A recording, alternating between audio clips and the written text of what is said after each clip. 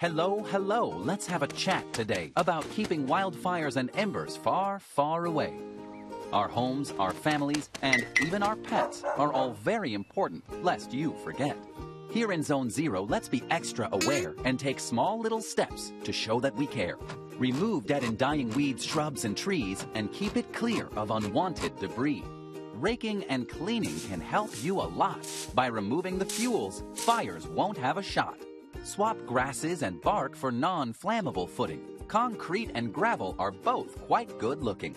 And let's not forget the birds, bees, and trees. Trim those branches within 10 feet of chimneys. Move firewood and lumber away to Zone 2. It could save your house, family, and even pets, too. Now for the fences and gates by your home. Make those first five feet fire resistant as stone.